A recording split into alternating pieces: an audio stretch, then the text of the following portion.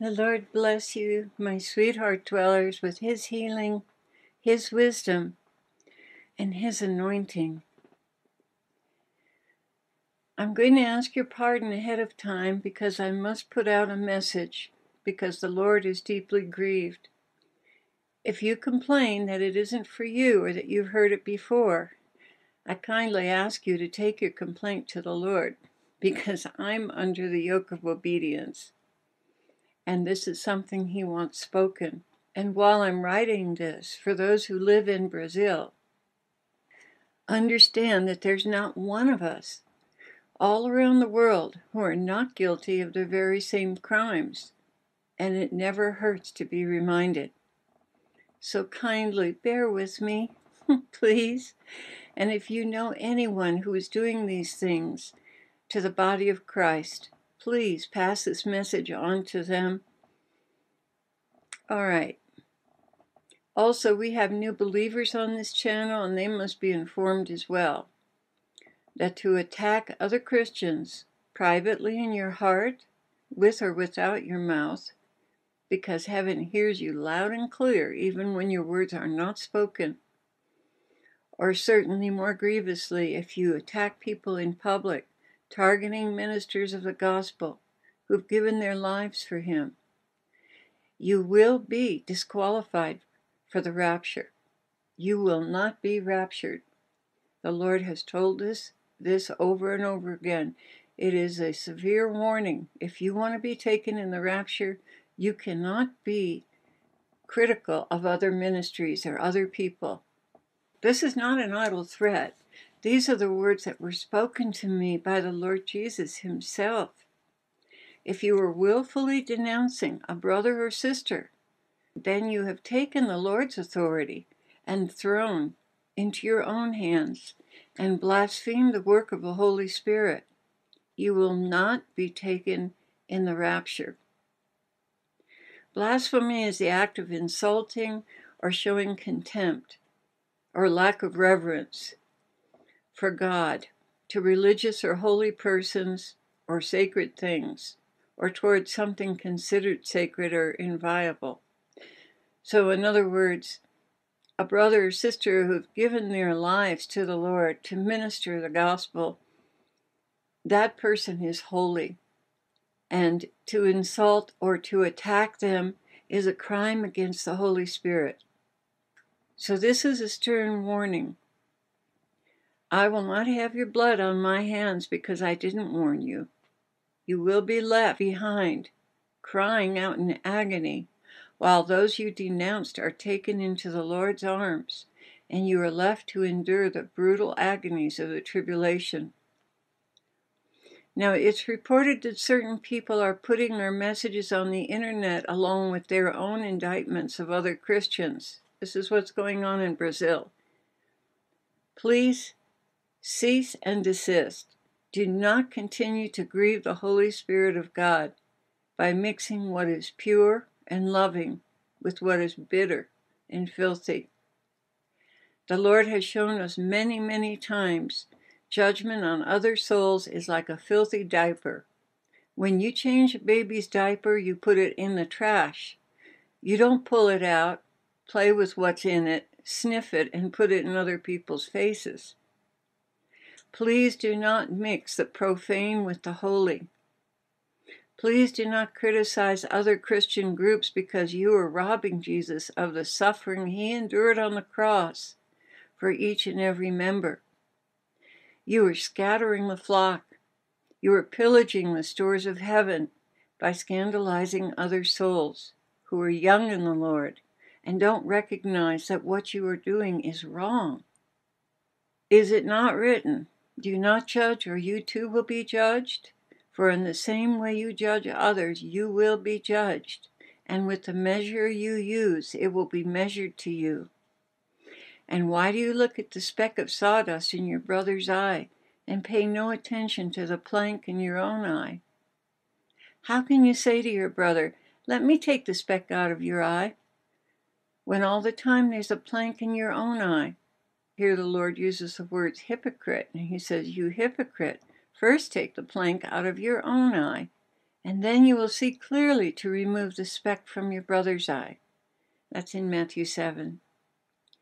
So you will be held accountable for souls that are lost because of your slander. Do you understand the seriousness of this?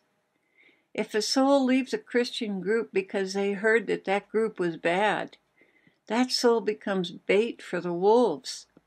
In other words, if that soul is stolen from the Lord because of the words of your mouth, you have become responsible for them going to hell.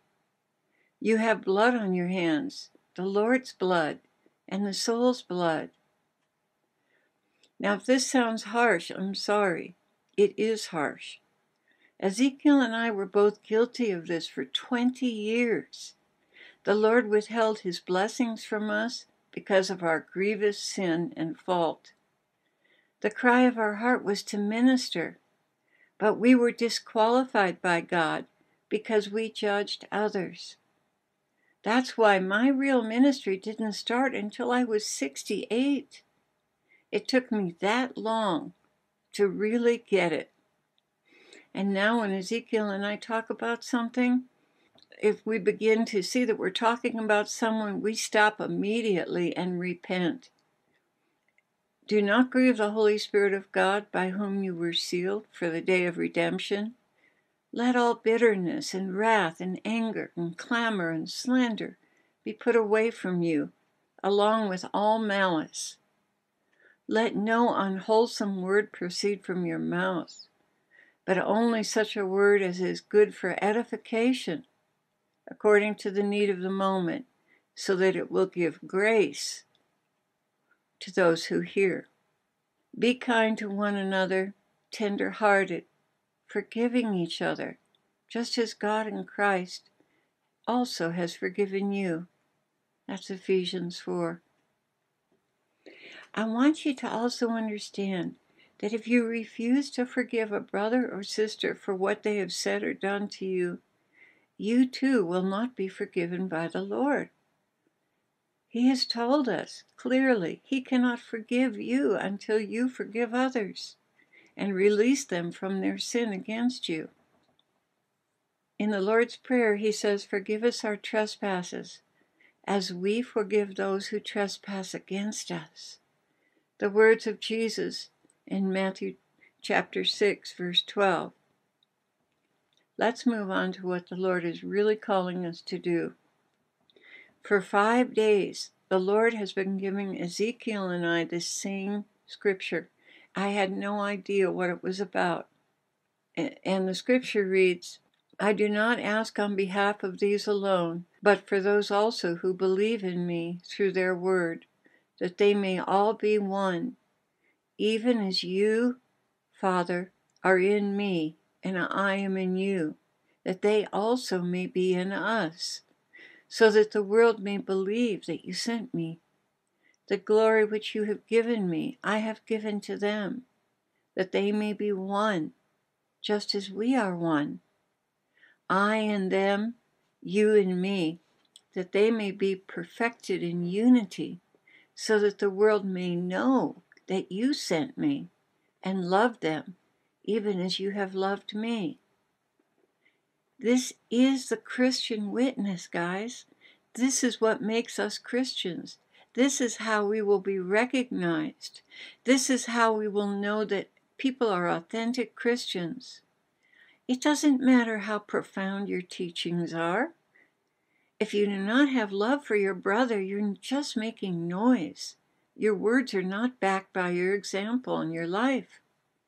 Eventually, those who listen to you will either follow your example of bitterness and be disqualified for the kingdom, or turn away from you, seeking the real Jesus. And I want to make this statement to all YouTube and heart dwellers, to all our listeners.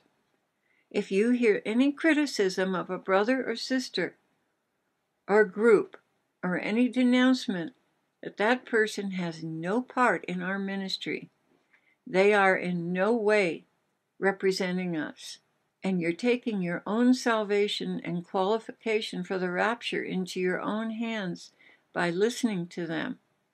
May God have mercy. Again, if anyone criticizes another Christian person or group, they are in no way associated with us. Even if they broadcast our messages, they have no part in us until they repent and are restored to fellowship and unity with those they have condemned. Those of you who've been following us for months, you know better. Those of you who are young in the Lord, this is one critical qualification for the rapture and even heaven. Do not listen to slander or criticism of other groups. It is not of God. We're called to be fishers of men, and each of you have an assignment and a position in holding the huge net that Jesus has thrown over the whole world. Your job is to gather in the fish, the lost, before it's too late. Be faithful to your post. Do not tear the net. Don't drop the net and don't try to yank it forcefully from the hands of others who are holding it. Cooperate with them. Don't lose one valuable fish, not one. Make sure you work together to bring in the catch. Now I will tell you what's going on here in Brazil. I will pull back the veil for you. The witches in your country have come together to divide you, to cause jealousy, gossip, and division. I have lived in Colombia and Ecuador. I know exactly how they operate. They send demons of jealousy, lying, slander, and those who are weak or injured catch this like a virus and then spread the disease around. When you judge someone, you are cooperating with Satan to bring the kingdom of God down.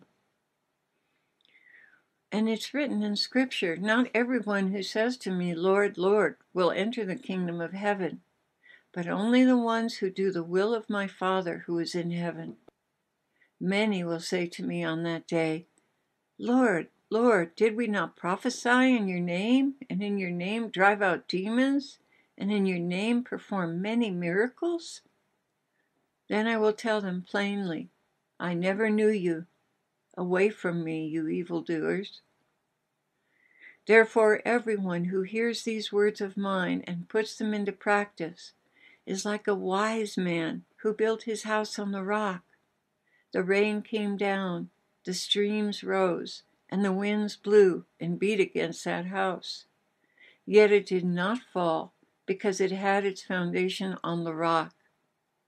But everyone who hears these words of mine and does not put them into practice is like a foolish man who built his house on sand. The rain came down, the streams rose, the winds blew and beat against that house, and it fell with a great crash.